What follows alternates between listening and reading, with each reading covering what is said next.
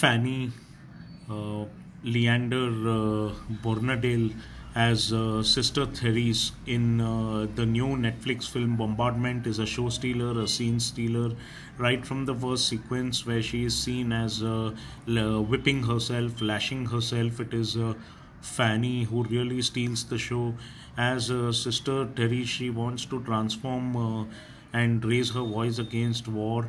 Uh, she does it in the classroom, teaching uh, tiny tots uh, difficult uh, uh, philosophies of life by using very simple methods and simple examples.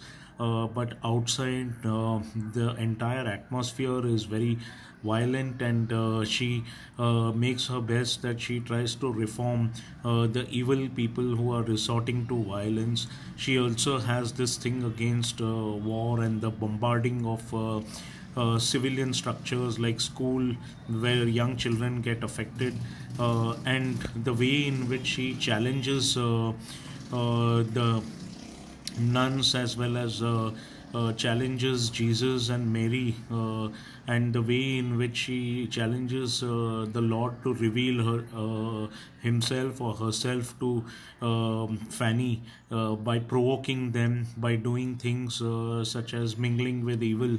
It is Fanny who really steals the show. She has done a brilliant performance. she's given a brilliant performance in terms of uh, making sure that uh, she is good with the children as well as with the adults. The sequences with the the uh, officer whom she tries to uh, reform and transform are really brilliant.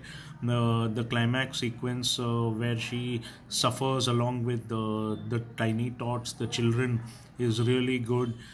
along with the children, it is Fanny as sister Therese who's given a award winning performance. Hats off to Fanny and uh, the bombardment team for a brilliant uh, war film in this age of Russia uh, Ukraine strife.